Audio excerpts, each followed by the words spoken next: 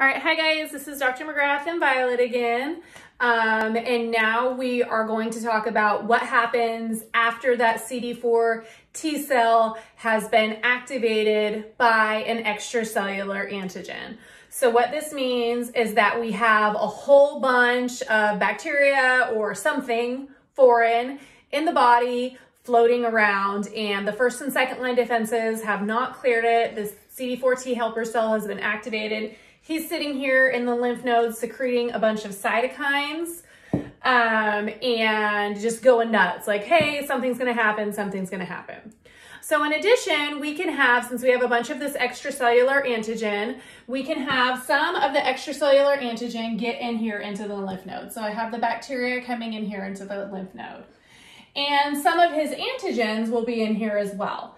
And so if these antigens, uh, they'll go in and there's B cells in the lymph node, a whole bunch of them, and one of them will invariably recognize this antigen. And what he'll do is he will digest and degrade this antigen, and then he will present it on his MHC class 2 molecule. He will then come over here to the CD4 helper T cell, the CD4 will recognize the MHC class 2 and the TCR will look at the antigen. So the B cell is basically coming over here to the T cell and being like, hey, I found this thing. Is this okay? Is this a bad thing, a good thing? Well, the T cell's there and he's like, oh my God. The dendritic cell was in here a little while ago. He showed me this. This is not good. And the way he's telling him that is because he's secreting all these cytokines, all right?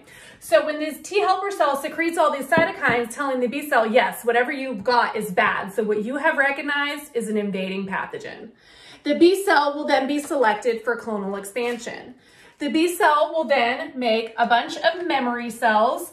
So these cells are genetically identical to the B cell and they have the same antibody on their surface. So the next time that that antigen comes in our body, because chances are we'll see it again if it's our in our environment, then we'll have not just one B cell that'll recognize it, but a bunch. In addition, he will also clonally expand into plasma cells. These plasma cells are antibody secreting cells. The memory cells are long-lived. They, li they can stay there for the rest of your life. The plasma cells don't last as long. The job of the plasma cell is to be secreting thousands and thousands of antibodies per minute. Now, why do we need all those antibodies? Well, the antibodies can contribute to opsonization because they recognize that pathogen, and we know we have a lot of that pathogen in the body. They can clump up the bacteria so that um, they're bigger clumps of them. Instead of trying to clear 10,000 individual things, we clear one big thing that's 10,000 pieces together. That's easier for our body to see can also contribute to antibody-dependent cell-mediated cytotoxicity and can inactivate things. They can also make complement activation happen. So these antibodies are out there doing a whole bunch of stuff. The reason the plasma cells are short-lived is we want the antibodies when we have the pathogen, but once the pathogen is cleared, we don't want the antibodies anymore. We don't want to be making thousands and thousands of antibodies for something we were sick with a couple months ago. We only need the antibodies when we need them, so that's why the plasma cells cells are short-lived.